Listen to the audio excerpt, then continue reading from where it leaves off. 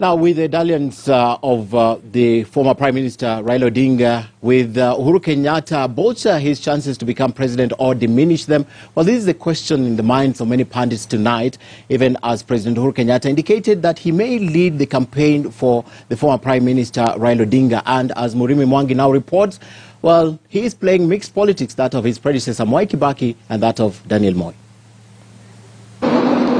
There ever was a turning point in the Independence Party KANU's five-decade grip on power, it certainly had to be this pronouncement by former president, the late Daniel Arap Moi. na, nataja moja kwanza, alafu watafanya na wengine.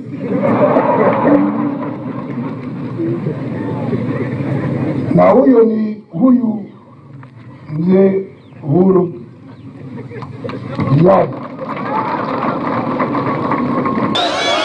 And with just six months to the polls, Uhuru Muigai Kenyatta, now as president, has hinted at making a similar political pronouncement. We are interested in continuity. We are interested in continuity of programs like this. And we want to work with people who have that interest. So what does former Prime Minister Raila Odinga's dalliance with the Uhuru political establishment portend for his 2022 presidential ambition? People have argued that if the if Moi's project in Uhuru failed, even uh, Uhuru Kenyatta's project in Raila will fail. They are looking at oranges and apples because the two people are different. One has gravitas, one has numbers, one comes with a, a history. Indeed, one is a liberation fighter. The other one was a new newcomer.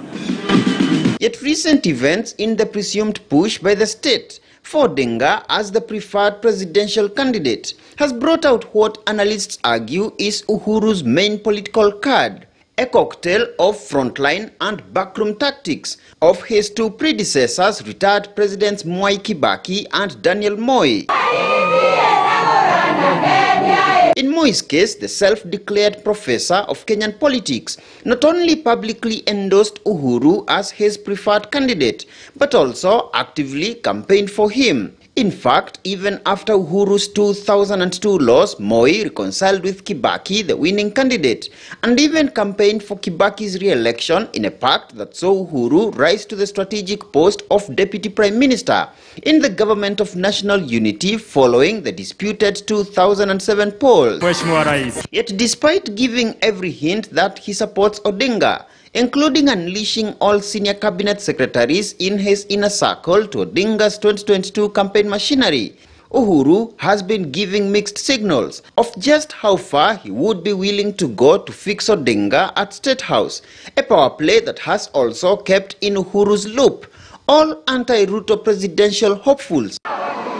A tactic akin to Kibaki's last term maneuvers that kept all presidential hopefuls in his cabinet guessing where his heart really lied between Uhuru, Mudavadi and Kalonzo, who were seen as the main frontliners against Odinga, who was at the time seemingly the establishment's unwanted candidate. But how do the 2002, 2013 and August 9 scenarios compare for Odinga? President Uhuru Kenyatta, more than anybody else, is aware of the folly of political projects because he was one and he suffered for it.